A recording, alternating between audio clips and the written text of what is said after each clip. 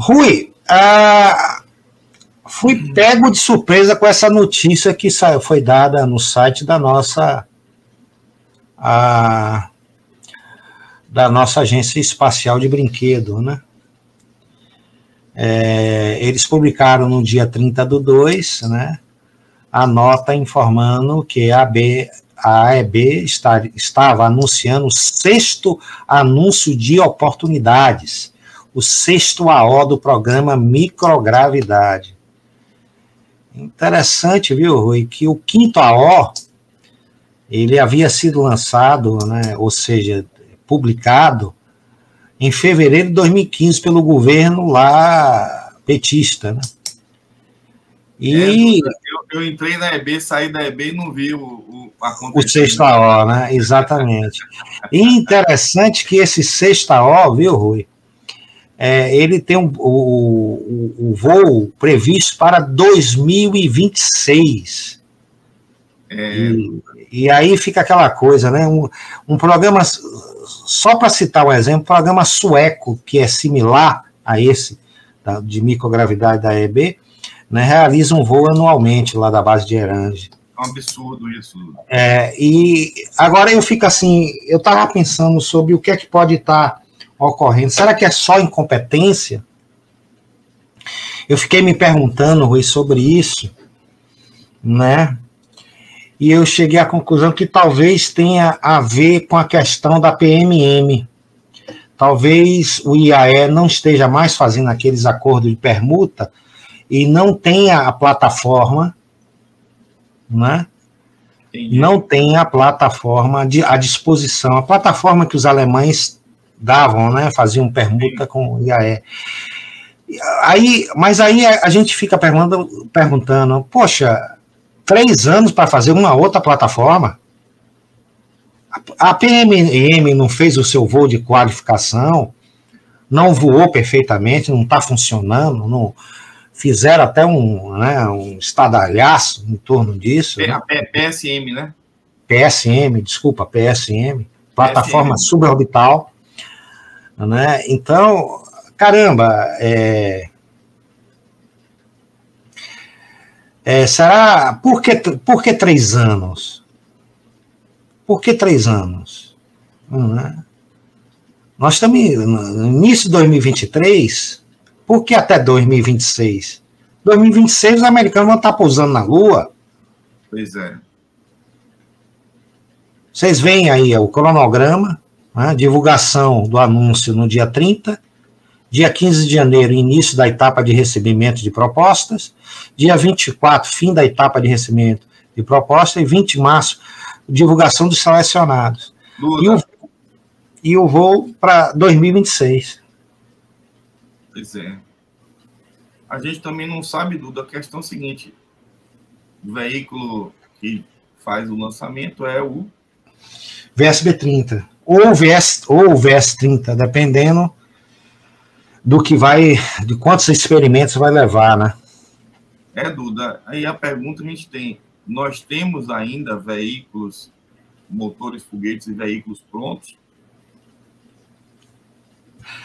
É, né, é, todo mundo sabe que o, o projeto do VSB 30 foi passado para a né? O VSB 30, VSB 30 foi entregue. Entregue a, a, a Avipass. Entregue. Né? Agora, o Brasil, é... o, o Brasil desenvolveu, pagou pelo desenvolvimento pelo IAE, um custo absurdo, certificou. Porque, Duda, se dissesse assim, ó, eu vou lhe entregar o veículo, o veículo, o veículo suborbital, certo? O, o, eu vou lhe entregar, mas não certifiquei. Você certifica? Não. Entre, o custo de certificação, Duda, é um absurdo para certificar um equipamento. O único produto nacional certificado foi entregue de bandeja. Gente, não... nós estamos nas atividades espaciais desde 1961. Duda, o único produto certificado nacional que é reconhecido internacionalmente. Os suecos, suecos só querem lançar VSB 30. Os alemães são loucos para lançar com VSB 30. É, é confiável, não é tão caro, certo? já se provou, né, em N missões, entregou-se isso para a indústria. Não virou produto de exportação. É, se entregou para uma empresa que, na época, eu disse que era um erro, né? Eu falei que era um erro, que a Vibrar não ia fazer zorra nenhuma, como não fez. Né? Agora, é preciso também dizer que, se eu não me engano, foi no início do ano, que, do ano passado, ou final do ano passado, que os suecos, na, na realidade, a, o DLR veio aqui ao Brasil e levou mais alguns motores. Né? Motores que foram usados em várias missões esse ano. Inclusive, nós vamos falar sobre a missão que ocorreu agora em novembro, tá? de um VSB-30 lançado lá de, de, da base de, da Suécia. Né? Mas, enfim, a, ou seja, parece-me, parece-me que o IAE, junto com seus parceiros antigos, é quem está, viu, Rui, public, é, produzindo esses motores, porque a Vibraz... É, é o que parece, Duda. Só que como o IAE não é indústria, o tempo dele de produção é outro, né? Exatamente, exatamente, exatamente. Exatamente. Eles, se eu, não, se eu não me engano, eu acho que eles levaram oito motores, oito, nove motores, há um tempo atrás, né? E Mas, eles vão pedir novamente, eles vão selecionar, eles vão, eles vão, vão pedir novamente. Tá? Agora, aí, aí, aí é que fica a questão: será que nessa leva, tá, que foi lá, inclusive tem um vídeo que a gente coloca, que eu coloquei na época, que mostra o, o, o, o um avião da Força Aérea Brasileira pousando em Erange, carregado desses motores. Eu não sei como, a gente não sabe como é que é esse acordo. Né? Antigamente se fazia permuta, trocava uma coisa pela outra. Ou seja, o Brasil trocava os motores por pelas plataformas, né?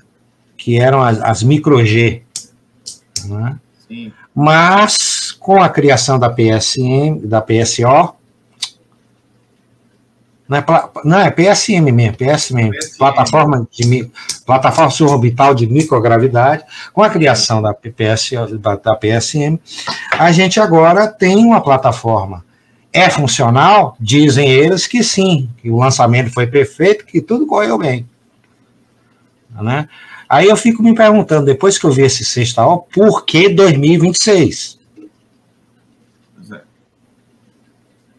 Isso aí era para ter no lançamento todo ano. Todo era ano. Era para ter anualmente. Você chama no ano, ele lança no ano seguinte. Chama no ano, lança no seguinte. Exatamente. Exatamente. Você tem um modelo dos AOs, né? É só você fazer uma AO de seis em seis meses. Não, Duda, Puxa. poderia ser anual. Só que você chama no ano, lança no ano seguinte. Quem foi aprovado em 23, lança em 24. Quem foi aprovado? Não, eu estou falando o lançamento dos AOS. Para você fazer de um ano para o outro, você tem que fazer de seis em seis meses, né? Não, não, não. Você chama no ano, faz uma chamada no ano 23. Essa chamada agora lançaria em 24. A chamada de 24 lançaria em 25. E aí vai. Sim, pode ser também. Entendeu, Entendeu Rui? E a gente está, né, a gente está perdendo, a, a gente está é, cesseando o direito e a possibilidade que nossas empresas, nossos centros de pesquisas têm, poderiam estar utilizando essa, essa possibilidade de acesso ao espaço, mesmo que seja um espaço é, suborbital, tá? É, caramba, por falta de quê, gente? Por que vocês não botam esse troço para funcionar aqui? Calma, Duda. Duda travou aí, não, né? Não. Pois então, ah, é isso. Duda se travou, né, Duda? Eu me segurei, eu me segurei justamente porque o YouTube não tá para brincadeira. É, vem Mas, gente... botou Duda pistola aí, não vi, não. Ah, não, ela ainda não se manifestou, mas já já ela se manifesta. Mas o é isso, então vamos, então vamos torcer, né? Vamos torcer que esse troço. Eu fico feliz que pelo menos saiu o anúncio. É. Evidentemente a gente quer mais. Pode parecer é. até da nossa parte intolerância, né? Isso. É, o Cristiano, o, a Aline deu risada e o Cristiano fez Duda Pistol. é. é. é isso. Mas aí Mas, pode parecer até da nossa parte ser um pouco intransigente. É. Mas isso que o Brasil demora três anos para fazer, nos outros lugares no mundo se faz todo ano. É. E tem outros países que faz de 100, seis vezes. Exatamente. Eu não quero nem comparar a gente com os Estados Unidos, porque não, esses, esse, isso é tão comum nos Estados Unidos. Né? Isso é tão comum. Quantos lançamentos suborbitais eles fazem anualmente? Nossa. Ah, então, enfim. Mas é isso, né? Vamos Pelo lá. menos nós temos o nosso foguete, o, sub, o USB-30, que está aí fazendo um sucesso mundo afora.